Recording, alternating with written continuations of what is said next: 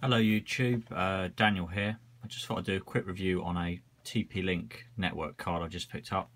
Uh, this is a gigabit PCI network adapter as you can see, 1000 megabits or 1 gigabytes per second and the model number is TG3269 side of the box. I've had TP-Link products before, they're quite decent. You don't pay a lot for them but they're quite reliable. That's one thing I'd say about TP-Link. Um, I think I've got maybe three or four of the gigabit switches, and I've had a access, I've got wireless access point as well, and it's all been really reliable. I've not had any problems with any of it.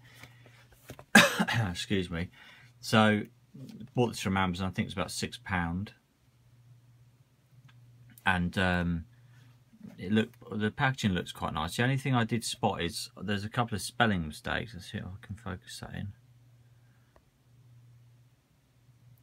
It says um, Stremming and um, something about file downloads as well on it. But you'd think they would have checked that. But anyway, apart from that, it's all right. Right.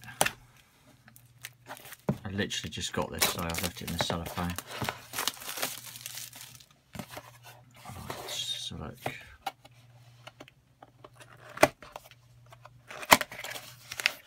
So that's what we got.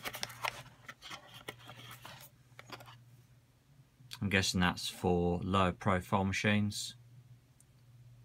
You can swap it out.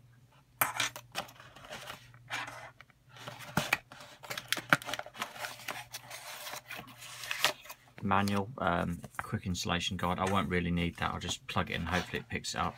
Is to replace a network card an onboard um, network card on one of my servers. It's 100 megabits isn't fast enough.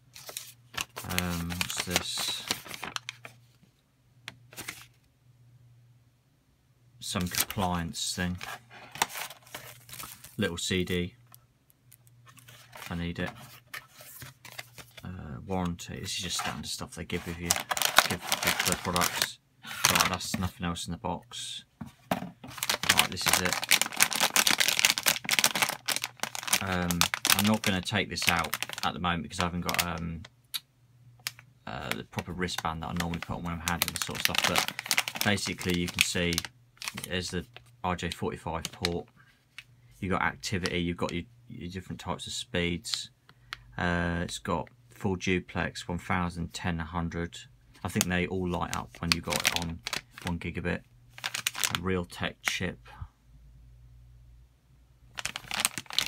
Um, and if you were if you did need it as a low profile low profile machine that's full PCI slot height and then you could just swap it out with that.